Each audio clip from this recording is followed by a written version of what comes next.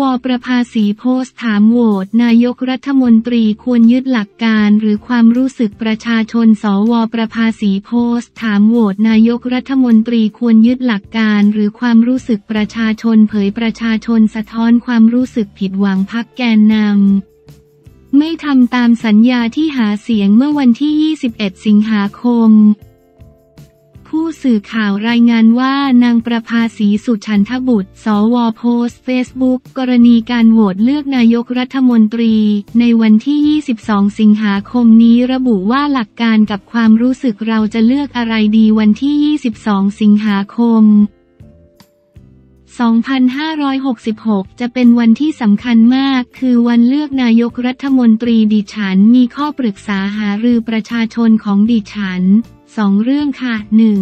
ในระบอบประชาธิปไตยเราต้องเลือกเสียงข้างมากใช่ไหมคะ คราวที่แล้วดิฉันเลือกคุณพิธาลิ้มเจริญรัต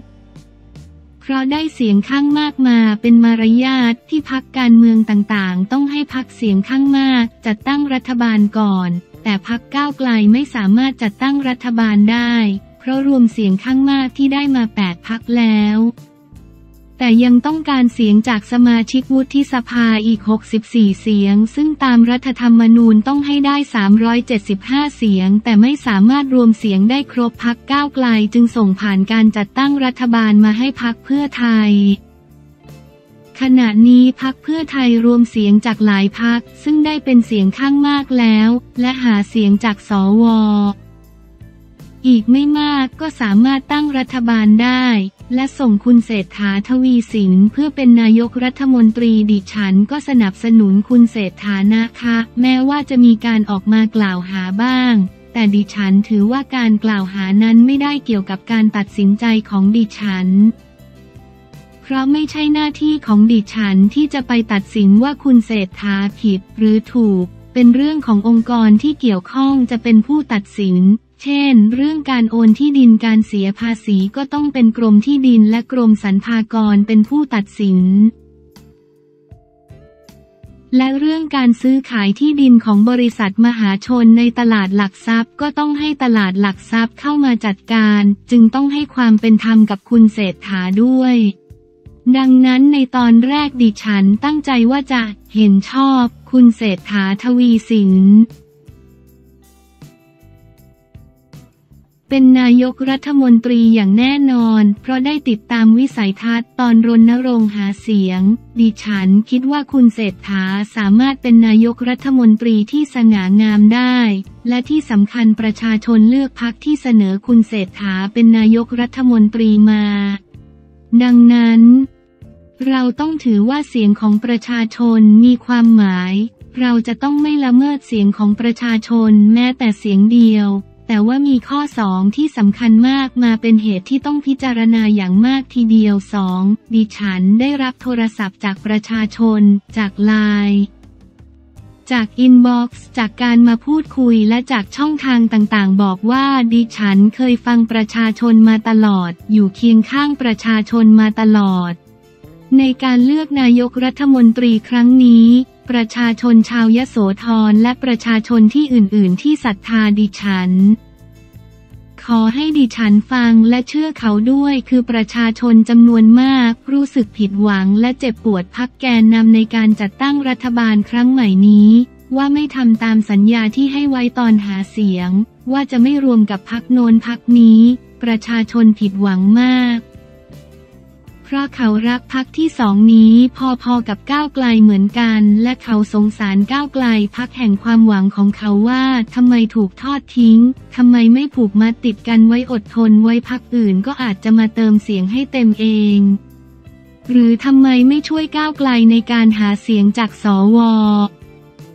ประชาชนรู้สึกว่าถ้าพักแกนนำช่วยหาเสียงอย่างเต็มที่ก็จะต้องได้เสียงสวมาประชาชนบอกว่าเขาจำภาพตอนจับมือกันตอน MOU อย่างไม่ลืมเลือนเขาเจ็บปวดมากเขายังนึกถึงบรรยากาศตอนคุณพิธาถูกหยุดให้ปฏิบัติหน้าที่สอสอประชาชนหลายคนร้องไห้และรู้สึกเงียบเหงาและเศร้าใจเครียดกันมาก ดิฉันค่อนข้างเครียดเมื่อรับฟังความรู้สึกของประชาชน สมัยนี้คนสนใจการเมืองกันมาก เขาคิดไปไกลกว่าดิฉันอีกเขาบอกว่าเสียงรัฐบาลที่มารวมกัน มีมากกว่าเสียงที่จะเป็นฝ่ายค้านมากเกินไป อาจจะเกิดเผด็จการรัฐสภาได้ฝ่ายค้านอาจจะตรวจสอบเก่งก็จริงแต่หากเรื่องใดจำเป็นต้องโหวตก็จะแพ้ทุกครั้งไป ประชาชนบอกกับดิฉันว่าให้ ไม่เห็นชอบ ทุกคนอยากให้ดิฉันเป็นความหวังให้สู้เพื่อพวกเขาดิฉันเครียดมาหลายวันว่าระหว่าง หลักการที่ดิฉันยึดมั่นเสมอมากับความรู้สึกท้อแท้เจ็บปวดของประชาชนของดิฉัน ดิฉันควรยืนอยู่บนหลักการของดิฉัน หรือเลือกร่วมเจ็บปวดไปกับเขาด้วย ดิฉันควรจะเลือก ไม่เห็นชอบ หรือสุภาพหน่อยก็ งดออกเสียงตามความต้องการของประชาชนของดิฉันหรือไม่ หรือเห็นชอบตามหลักการที่เขารวมเสียงข้างมากได้ ท่านที่ผ่านมากรุณาให้ความคิดเห็นกับดิฉันด้วย เพื่อดิฉันจะได้นำไปเป็นข้อมูลในการตัดสินใจ ขอขอบคุณมากๆนะคะ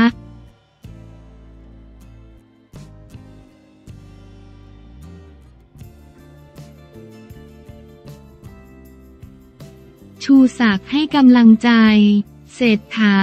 ฝ่าด่านหินซัดคนไล่บี้อภิปรายคุณสมบัติชกอยู่ข้างเดียวชูศักดิ์ให้กำลังใจ เศรษฐา ฝ่าด่านบทเฉพาะการรัฐธรรมนูญปี 2560 ชี้นายกรัฐมนตรีไม่เคยถูกอภิปรายยาวขนาดนี้ ย้ำคุณสมบัติครบถ้วนเมื่อวันที่ 21 สิงหาคม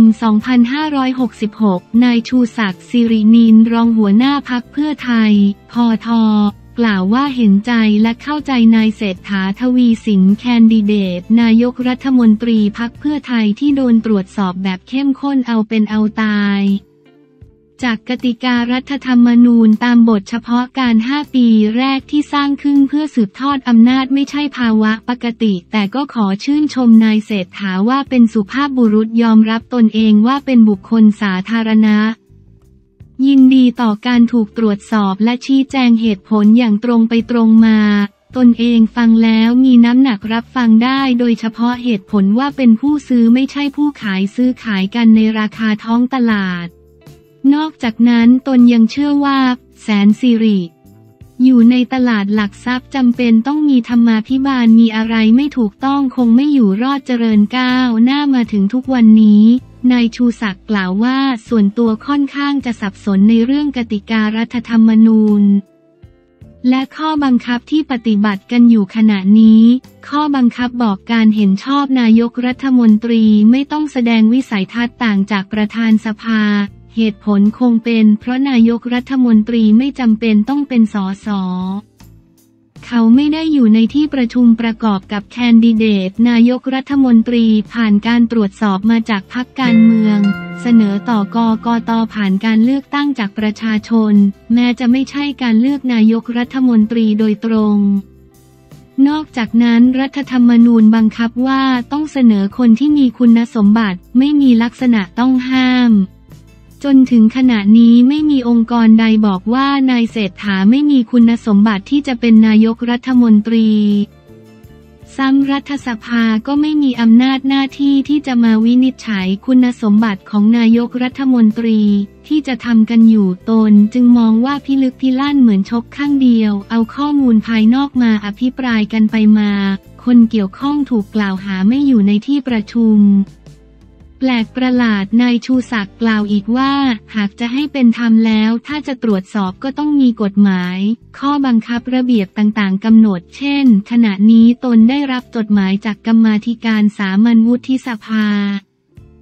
ขอให้ให้ข้อมูลเพื่อตรวจสอบประวัติของบุคคล เพื่อประกอบการแต่งตั้งบุคคลในองค์กรอิสระต่างๆ การเลือกนายกรัฐมนตรีเมื่อปี 62 ก็ไม่มีมาแสดงวิสัยทัศน์ไม่มีมาอภิปรายกัน 3-4 ชั่วโมง เหมือนที่จะทำกันอยู่ในวันที่ 22 สิงหาคมนี้ ผมขอเป็นกำลังใจให้นายเศรษฐาพักเพื่อไทยยืนยันที่จะเสนอนายเศรษฐาเป็นนายกรัฐมนตรี